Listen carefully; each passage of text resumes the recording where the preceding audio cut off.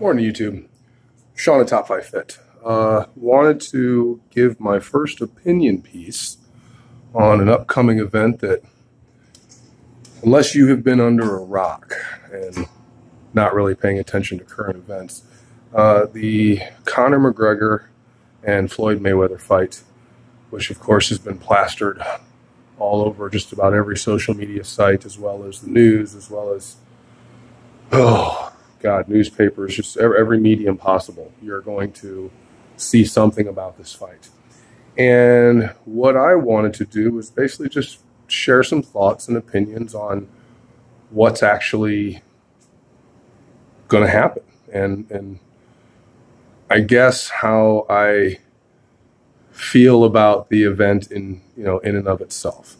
So let's break right into it. Um, to start off with, I guess I'm not quite sure that the fans of both MMA and boxing, you know, in its truest form, are going to get what they're looking for.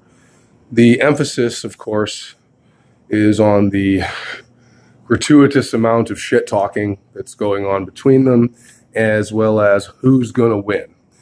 And that's okay. That's what athletics has pretty much come down to over the years. And now it seems like that is the only thing that matters who wins, who loses, who makes the most money. When kind of what I would like to point out, I guess, and things I've learned along my own fitness journey. And I guess that's why I'm doing the video here is to share those experiences with you. Um, I kind of feel the event in and of itself is kind of a degradation of both sports. It's it's really dumbing down what each of these individuals has had to put into their career, uh, starting with Conor McGregor. Um, and again, besides all of the bravado and shit talking and the amount, the, the huge amounts of machismo that exists with this individual, this man is a technician and he is capable of adapting to just about any environment that he's thrown into. Now, the years that he's actually spent working on his ground game, his jiu-jitsu game, obviously there's some judo in there. You have to get people to the ground. Um, his stand-up game is also incredibly sound. This man knows how to throw hands. He can bang with you. Now, having said all of that, you're now going to take this individual, this well rounded individual, and stick him into an environment where the only thing he's allowed to use is his hands. You know, that's kind of like taking an NFL player and putting him on a soccer field, or if you are from the rest of the world, you would call it football too. But that seems like such a gross waste of talent to me and such a disrespect to the time, the effort, the hours that this individual has put into developing himself into a sound warrior. Now, on the other side of that, you have Floyd Mayweather, who, let's be clear, when this man reaches 90 years old, his hands are probably still going to be faster than the, and I guess that's if he reaches 90 years old. Boxing is a tough sport. You take a lot of hits, it, it screws things up. But muscle memory matters when it comes to an individual like that. His speed is I mean it's it's it's not something that the average individual is even going to be able to stand in front of. And even someone like Conor McGregor, you're talking about a time difference. Conor McGregor spent his career developing a well-rounded, well-controlled, full, you know, capacity, fully functioning fight game for the cage, whereas Floyd, Floyd Mayweather has spent his entire career developing speed. The man is basically one continuous fast twitch fiber. Like he, he, he can obviously go the distance if he needs to, but the explosiveness that this man can produce and do so at will, you know, he doesn't even have to think about the patterns that he can create with his hands. Now, in my own fighting experiences, uh, or just, I guess, any type of self defense, martial arts, whatever you want to call it. In, in, my own experiences, you know, I'm I guess, very realistic about what my structure is capable of and what I'm able to do. And I tend to practice within those realms. Um, being a larger male, I don't anticipate standing up with somebody that long. Um, I work a little bit on your hand speed to make sure you can defend and throw the necessary jab, but ultimately, trying to use my weight and I guess mobility is always going to be something that you know I want to bring to the table and take advantage of. When you put together a fight between a well-rounded cage MMA fighter and a boxer, and I said this earlier, you're basically asking both of them to dumb down their abilities. So by putting these two men into a, you know into a ring, and of course charging a ridiculous amount of money for it, which we'll get into later, um, you're not going to see the best that these athletes have to offer. My ultimate prediction is Mayweather is basically going to walk out and have no respect whatsoever for Conor McGregor's striking game. Um, he'll dance with him. He'll impress him with his foot speed. He will definitely get some hits in because, you know, the man has pinpoint accuracy with his hands. Conor McGregor, however, can take hits. This man, again, knows how to control his heart rate, how to control himself when he's up against the cage and, you know, a very angry, you know, opponent is basically trying to put him out. So, what I think there's going to be as far as maybe round one, round two, if it gets there, round three, you know, you never know with these events. And and I guess that's my point is you're not going to see me jumping from one side to the other and saying, oh, this person's going to win or that person's going to win. It, it's it's it's more along the lines of are the people that are actually paying for this event going to get what they want to see? And I'm not quite sure they will. Uh, I, I, think that there's going to be a lot of showmanship, a lot of bravado, and eventually somebody is going to get knocked down, which will, of course, bring about a whole lot of cheering and booing at the same time and then some controversial ending where basically people are going to argue for the next three to four months. Now, what I would like to see, and remember, this is an opinion piece, if we're truly to respect what each practitioner brings to the table here, and we're trying to find out who the best warrior is when it comes down to it, ditch the shit talking, first of all. Shut up. I don't want to hear you guys anymore.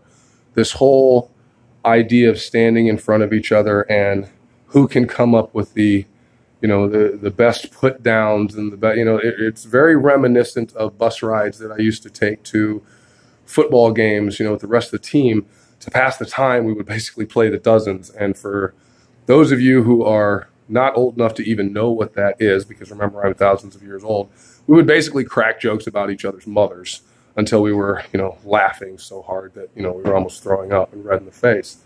But that's all I see when I'm looking at these people, these two individuals going back and forth and basically just trying to out shit talk each other.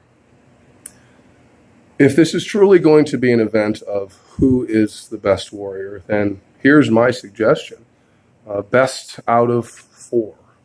But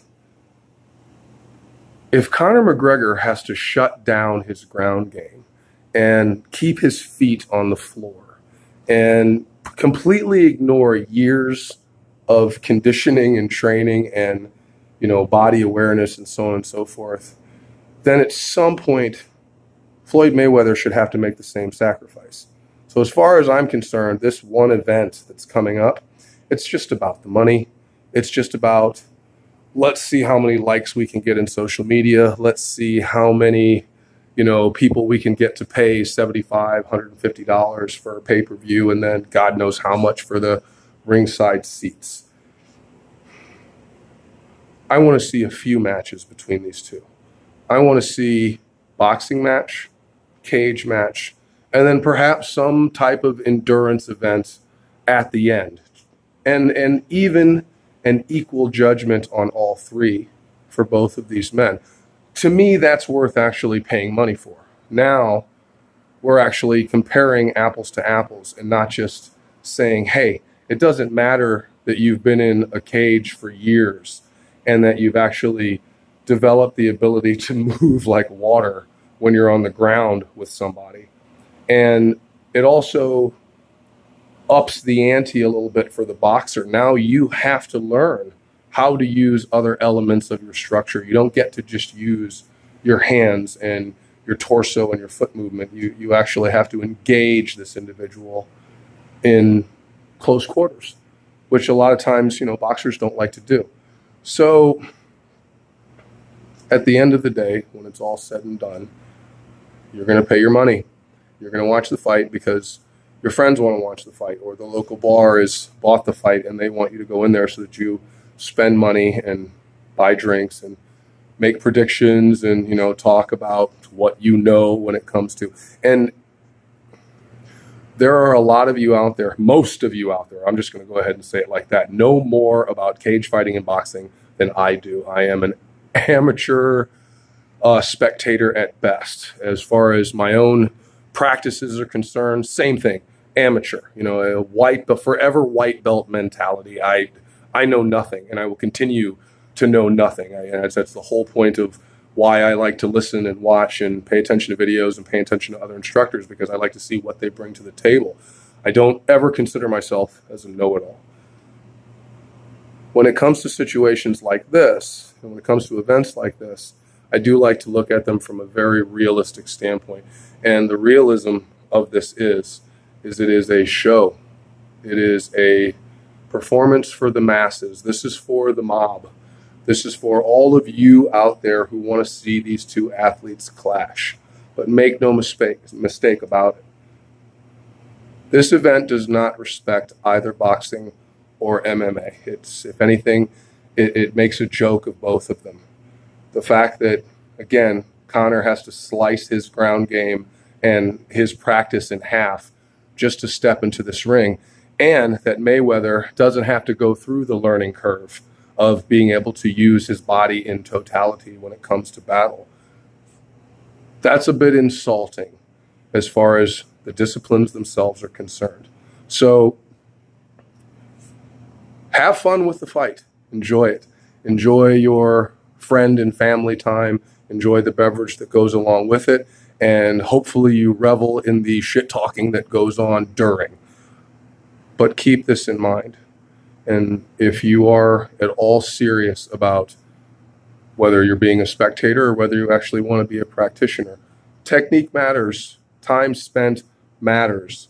And don't think for one second that just because these two men are clashing, that whatever result may come about would be the same result if you took a heavyweight boxer and a heavyweight cage fighter or a lightweight, lightweight, whatever combination you want to make.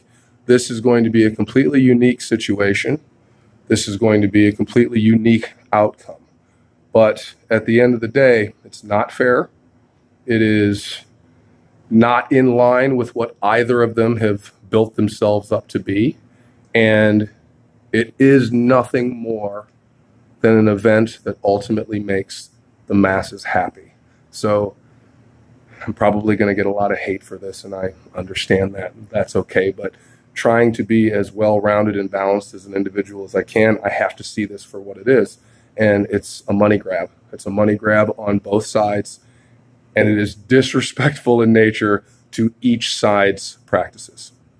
That's all. So uh, again, just sharing an opinion. It's it doesn't necessarily mean that you have to think this way. I'm not trying to sway, you know, your beliefs or what you think is going to happen this you know coming Saturday. But and I hope you do. If you are watching, I hope you enjoy, and I hope you get out of it what you're looking for. But personally, I'm going to spend time with my aquariums and my garden, uh, and probably watch a couple of jujitsu videos to suck a little less. Thanks for watching. Hope you enjoyed you have any questions or comments, leave them in the box below, and don't forget to subscribe. Thanks again.